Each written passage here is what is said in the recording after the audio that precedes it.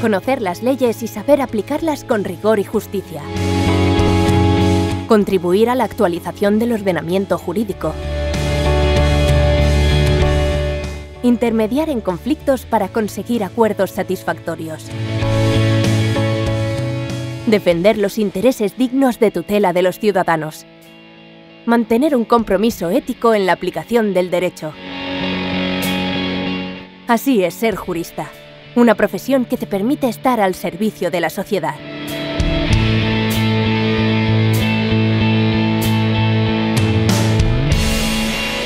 Universidad Isabel I, tu universidad online.